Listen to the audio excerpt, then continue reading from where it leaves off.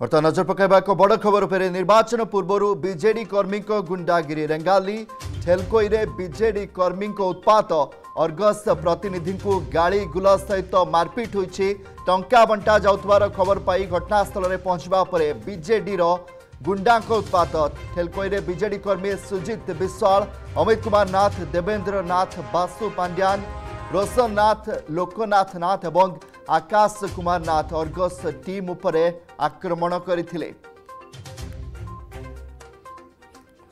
বর্তমান যা বড় খবর নির্বাচন পূর্ব বিজেডি কর্মী গুন্ডাগিরি রেঙ্গালি ঠেলকইরে বিজেডি কর্মী উৎপাত অর্গস প্রতিনিধি গাড়ি গুলজ সহিত মারপিট হয়েছে টঙ্কা বণ্টা যাওয়ার খবর পাই ঘটনাস্থলের পৌঁছবা পরে বিজেডির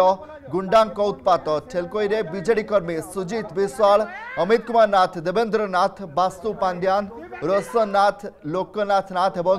আকাশ কুমার নাথ অর্গস টিম উপরে আক্রমণ করে আপনার এক্সক্লুসিভ চিত্র মধ্যে দেখি পাচ্ছেন কিভাবে ভাবে নির্বাচন পূর্বর বিজেডি কর্মীঙ্কর গুন্ডাগিরি চালছে রেঙ্গালি ঠেলকোইরে বিজেডি কর্মীঙ্ক উৎপাত অর্গস প্রতিনিধি গাড়ি গুল সহিত মারপিট হয়েছে টঙ্কা বন্টা যাওয়ার খবর পাই ঘটনাস্থলে অর্গস টিম পৌঁছি এবং তাপরে আরম্ভ হয়েছিল বিজেডি গুন্ডাঙ্কর উৎপাত ସେମାନେ ଆମର ଗାଁ ଗୋଟେ ପିଲାଟେ ଅଛି ସେ କିଛି ନାଇଁ ଜାଣେ ଇନୋସେଣ୍ଟ ପିଲା ନାଇଁ ତାହାକେ ଫୋନ କରି ସେମାନେ ପଲାଜ ଆଇନୁ ଏକରେ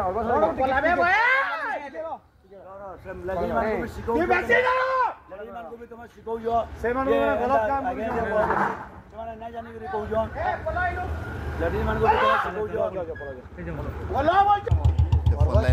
ହିମାଂଶୁ ଦାସ ରେଙ୍ଗାଳି ପ୍ରତିନିଧି ଯୋଡ଼ି ହୋଇଛନ୍ତି ହିମାଂଶୁ ଆମେ ଭିଜୁଆଲରେ ବି ଦେଖୁଛେ କିଭଳି ଭାବରେ ବିଜେଡି କର୍ମୀଙ୍କର ଉତ୍ପାତ ରହିଛି ଏବଂ ଗୁଣ୍ଡାଗିରି ଚାଲିଛି କାରଣ ଟଙ୍କା କାରବାର ହେଉଥିଲା ଏ ଖବର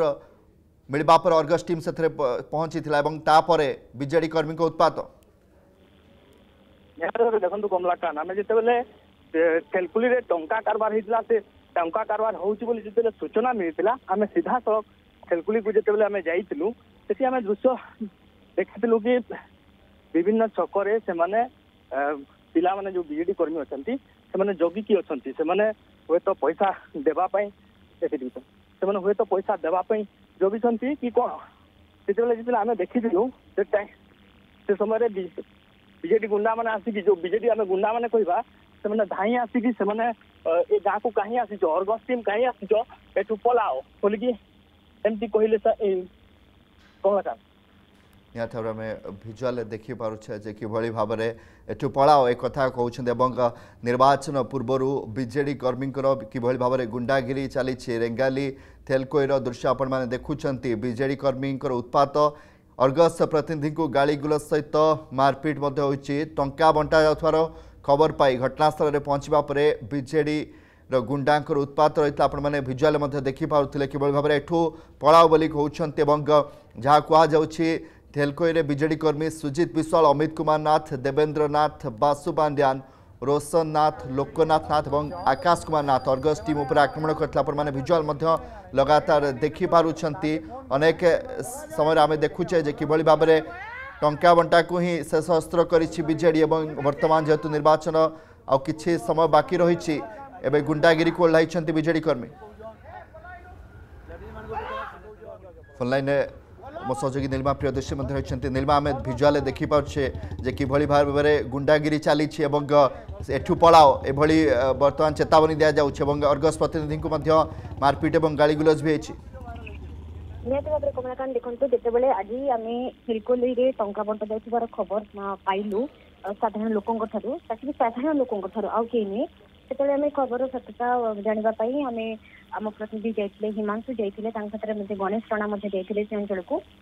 ସେଠି ଯେତେବେଳେ ଆମେ ପହଞ୍ଚିଲୁ ସ୍ଥାନୀୟ ଲୋକ ଖବର ଦେବା ପରେ ଯେତେବେଳେ ହଠାତ୍ ଯାଇକି ସେ ହିମାଂଶୁ ପହଞ୍ଚିଛନ୍ତି ସେ ଜାଗାରେ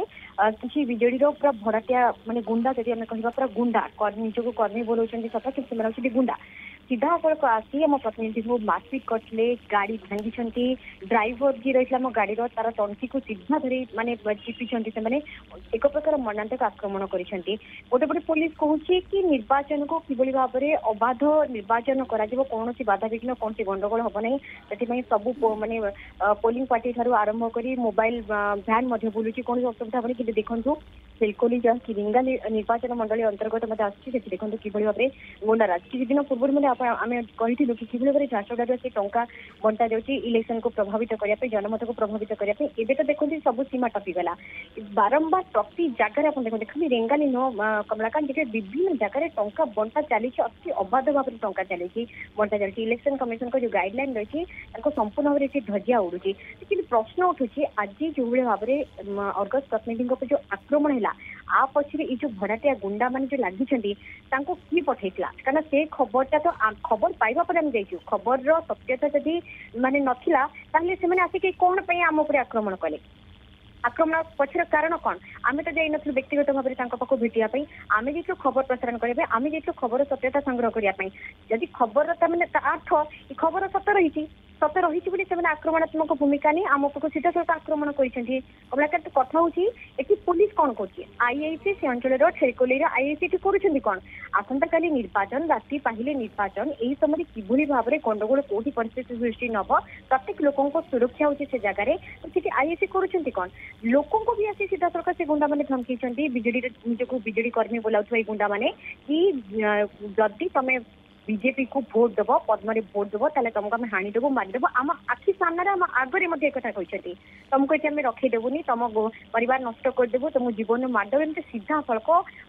ପୁରା ମାନେ ଗାଳି ଗୁଲ ସହିତ ଏଭଳି ଭାବରେ ଧମକି ଦେଇକି ଯାଇଛନ୍ତି ଏଠି ପ୍ରଶ୍ନ ଉଠିଛି ପୋଲିସର ଭୂମିକା ଉପରେ ଏଠି ପ୍ରଶ୍ନ ଉଠୁଛି ଏ ବିଜେଡିର ଏଇ ଭଡ଼ାଟିଆ ଗୁଣ୍ଡା କାହା ହିସାବରେ ଯାଇ କାମ କରୁଛନ୍ତି କାହିଁକି ଜନମତକୁ ପ୍ରଭାବିତ କରିବାକୁ ଚେଷ୍ଟା କରୁଛନ୍ତି ଅର୍ଥାତ୍ ଯୋଉ ଅଭିଯୋଗ ବାରମ୍ବାର ହେଇ ଆସିଛି କି ଡରି ଧମକି ଭୋଟ ଚୋରକୁ ପ୍ରଭାବିତ କରିବା ପାଇଁ ଚେଷ୍ଟା କରୁଛନ୍ତି ଇଏ ହେଉଛି ତାର ବଡ଼ ନମୁନା ଆମକୁ ସୁରକ୍ଷା ଦେବ କି ଯଦି ଆମେ ଆମ କାମ କରିବା ପାଇଁ ଯାଉଛୁ ତାହେଲେ ସେଠି ଆମ ସୁରକ୍ଷା କାହା ହାତରେ ଅଛି ଆମକୁ ସୁରକ୍ଷା କିଏ ଦେବ ଏ ପ୍ରଶ୍ନ ବର୍ତ୍ତମାନ ଉଠିଛି କମଳାକାନ୍ତ